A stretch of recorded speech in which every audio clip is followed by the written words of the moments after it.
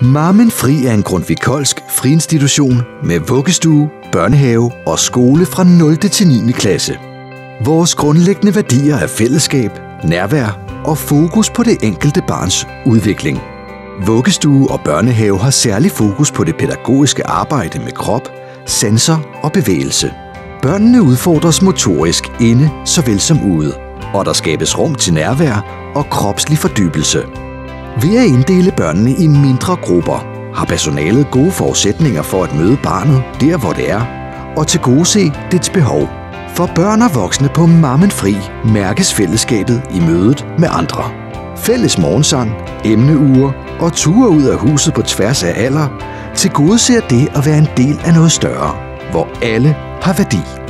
Vores værdisæt betyder for skolen, at vi prioriterer tæt relation mellem lærer og elev, høj faglighed både i de boglige fag samt de kreative og motoriske fag, bevægelse på skemaet hver dag, lejreture og skolerejser hvert år for alle elever, alsidig undervisning tilpasset elevernes behov.